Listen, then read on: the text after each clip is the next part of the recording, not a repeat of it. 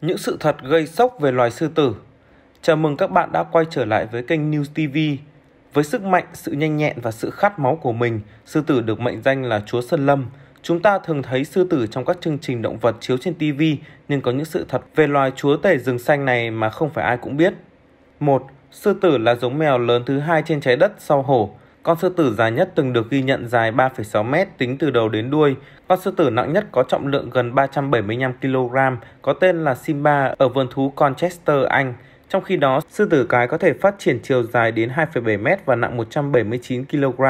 2. Sư tử cái có kích thước nhỏ hơn, nhanh nhẹn hơn nên giữ vai trò đi săn trong đàn. 85 đến 90% việc săn mồi là do sư tử cái đảm nhiệm, con đực có trách nhiệm bảo vệ bầy đàn và lãnh thổ. Sư tử đực thường được ăn trước. 3. Sư tử đực có bờm, sư tử cái thì không. Đây cũng là điểm nhận biết rõ ràng nhất giữa chúng. Chiếc bờm của sư tử đực giúp chúng né tránh được những cú cào cắn trong các cuộc giao tranh. Càng lớn tuổi, màu của bờm sư tử sẽ càng đậm. Sư tử đực thường bị loại trừ ra khỏi đàn khi chúng trưởng thành, có thể dựa vào màu tối của chiếc bờm để đoán được tuổi của sư tử đực. Bờm của sư tử đực càng tối màu thì tuổi của nó càng già. 4. Sư tử đực có thể không cần uống nước trong 4 ngày, nhưng chúng cần phải ăn hàng ngày. Một con sư tử trưởng thành mỗi ngày tiêu thụ khoảng 5 kg thịt mỗi ngày với con cái. Trong khi đó, con đực cần khoảng 7 kg hoặc hơn. Nhìn chung một ngày, sư tử không hoạt động trong 20 tiếng, chúng chỉ dành 2 tiếng để đi lại và 50 phút để ăn uống. 5. Con mồi của loài sư tử là lợn rừng, lợn lòi, trâu, linh dương châu Phi, hiêu nai, linh dương Genza và ngựa vằn. Những con mồi này thường bị chết do sự bóp nghẹt chứ không phải là do hàm răng sắc nhọn của sư tử. Khi đói, sư tử có thể bới những thức ăn thừa từ những con thú săn mồi khác như báo đốm. 6. Sự thật là những con sư tử cái nuôi nấng con cùng nhau, sư tử giao phối 2 năm một lần và sư tử cái sinh một lứa 2 đến 3 con sau khi mang thai 4 tháng. Những con cái trong cùng một bầy có xu hướng sinh con cùng thời điểm, điều này cho phép chúng nuôi một lứa đẻ nhiều con cùng nhau. Đặc điểm này cũng tạo nên lợi thế là cho phép các con sư tử con bú sữa của các sư tử mẹ khác, giúp dễ dàng trong việc quản lý các sư tử con trong bầy ở những tháng ban đầu. Trong khi đó, sư tử được bảo vệ đàn con khỏi nguy hiểm chứ không trực tiếp tham gia vào việc nuôi con. 7. Chúng ta dễ dàng bị thu hút bởi phong thái quyền lực của những con sư tử đực.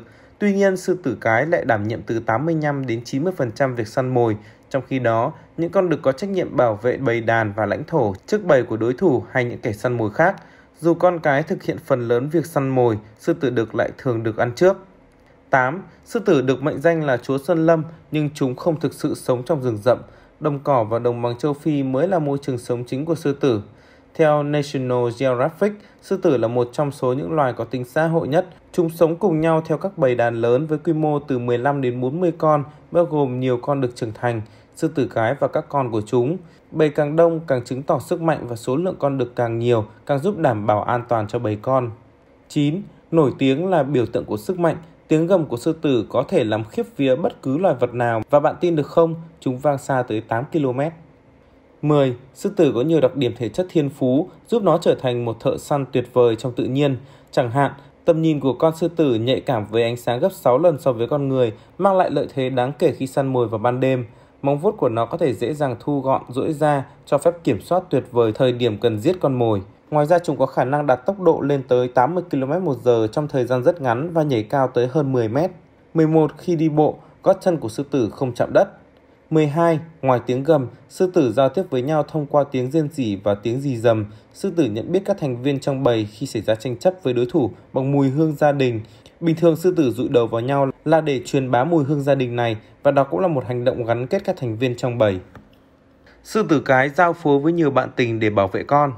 Sư tử cái trong rừng Ấn Độ phải giao phối với nhiều con đực từ những đàn khác để chúng không giết con non vì nghĩ đó là con mình. Sư tử cái FLG10 là một bà mẹ tốt và một thợ săn đáng gờm. Nó đang chăm sóc đàn con của mình trong khu vườn quốc gia Gir tại Gujarat, Ấn Độ.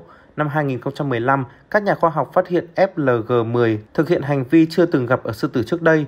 Nó không chỉ giao phối với các thành viên trong đàn mà còn giao phối với nhiều con đực ở một số liên minh gần đó. Đối với nhóm nghiên cứu đang theo dõi nó, gần như FLG10 giao phối theo chiến lược rõ ràng. Thông qua giao phối với những con đực đến từ mọi liên minh tiến vào lãnh thổ của nó, con sư tử cái 10 tuổi có thể bảo vệ đàn con khỏi đồng loại cố ý giết hại do không thể xác định rõ danh tính sư tử bố. Chiến lược này rất hiệu quả, không có con non nào của FLG10 bị giết chết.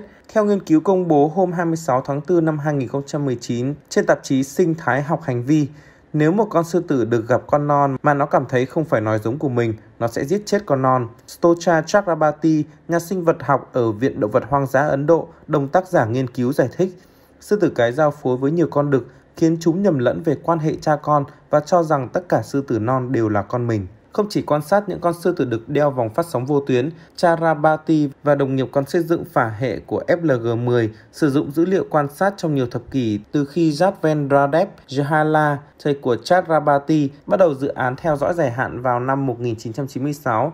Tiếp theo, để xem xét sư tử cái khác có áp dụng chiến lược tương tự hay không, nhóm nghiên cứu dành 4 năm theo dõi 9 đàn sư tử cái, bao gồm đàn của FLF10 và 11 và 11 liên minh sư tử đực. Kết quả cho thấy chúng dùng cách này khá thường xuyên và hiệu quả. Mỗi con sư tử cái sinh con ít nhất 2 lần trong thời gian nghiên cứu và đều giao phối với nhiều con đực. Điều thú vị là không có con sư tử cái nào bị mất con do các thành viên liên minh mà nó giao phối cùng. Mục đích của chiến lược giao phối cùng nhiều con đực là làm tăng tính may rủi, theo Chad Rabati. Cái giá phải trả khi con sư tử được giết nhầm con mình cao đến mức chúng không dám giết tất cả các con non của sư tử cái, Chad Rabati nói, nhưng chiến lược này cũng hạn chế, đó là không có tác dụng đối với những liên minh mới mà sư tử cái chưa có cơ hội giao phối. Đàn của FLG10 trải qua một cuộc thảm sát vào năm 2017 khi một liên minh sư tử đực mới kéo tới và giết chết con non của nó và các thành viên khác. Sau trận chiến, những con sư tử đực nắm vai trò thủ lĩnh, sư tử đực muốn con của chúng sinh ra và phát triển. Bởi vậy, nếu bầy sư tử cái đã có con non từ trước, sư tử đực không muốn chờ những con non này trưởng thành. Meredith Palmer, nhà nghiên cứu sau tiến sĩ ở Đại học Sprinton cho hay, vì sao sư tử mẹ ăn thịt con mình? Câu chuyện thương tâm xảy ra tại vườn thú Leipzig của Đức khi bà mẹ sư tử Kigali bỗng nhiên ăn thịt cả hai đứa con của mình rứt ruột đẻ ra mà chẳng có tín hiệu gì báo trước. Đây là hai cá thể sư tử đầu tiên được sinh ra ở cơ sở này trong vòng 15 năm. Ban đầu Kigali chăm sóc tốt hai con non của mình, tuy nhiên các nhân viên xử thú phát hiện nó đã giết chết và ăn thịt hai con non chỉ sau vài ngày. Do Kigali đã ăn hết toàn bộ cơ thể hai con non, vườn thú Leipzig sẽ không thể tiến hành điều tra liệu hai cá thể con non có mang bệnh hay không, lý do có thể dẫn tới hành vi của sư tử mẹ Kigali. Nếu những con non cư xử bất thường, những con lớn hơn có thể sẽ ăn thịt chúng. Khi những con non mới sinh ra cư xử kỳ lạ, con mẹ sẽ không nhận ra đó là con mình và bản năng mẫu tử sẽ không được kích hoạt. Mare Hook, chuyên gia sinh học từ Đại học Derby Anh nhận xét, các chuyên gia cho biết hành vi của sư tử mẹ Kigali cũng có thể xảy ra trong môi trường tự nhiên. Tuy nhiên, việc con mẹ ăn thịt các con non có xu hướng xảy ra thường xuyên hơn trong môi trường bị giam giữ, ví dụ như tại các sở thú hoặc dạp xiếc.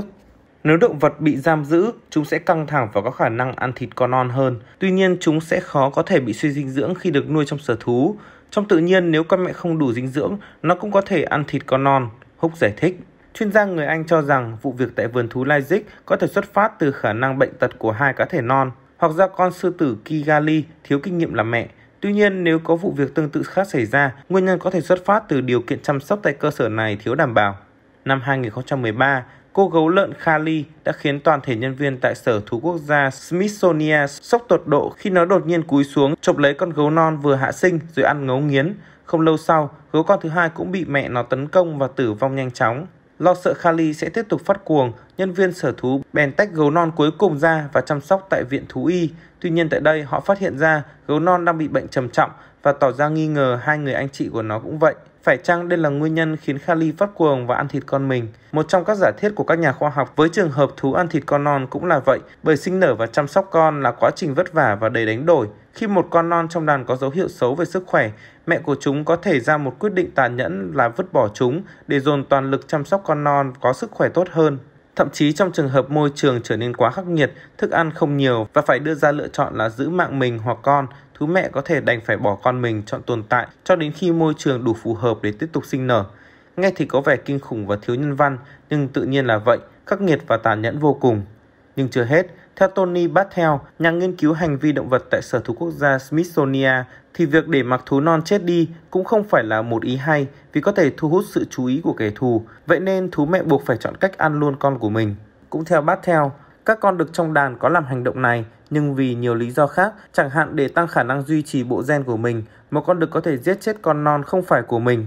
Ví dụ nổi bật nhất là cá heo, loài vật nổi tiếng là hiền lành, nhưng khi cần, cá đực có thể tìm cách tách con non khỏi con mẹ rồi xử luôn đứa con để tiếp tục giao phối. Giả thiết khác được đưa ra về các sư tử đực khi phát hiện các gia đình khác, chúng sẽ chiến đấu với con đầu đàn. Nếu thành công, sư tử đực sẽ ăn luôn con nhỏ để chứng minh sự uy dũng và thu hút sư tử cái phục vụ quá trình sinh sản. Trên đây là những sự thật gây sốc về loài sư tử. Cảm ơn các bạn đã xem hết video. Nếu thấy hay hãy subscribe, like và share để ủng hộ News TV. Giờ thì xin chào và hẹn gặp lại.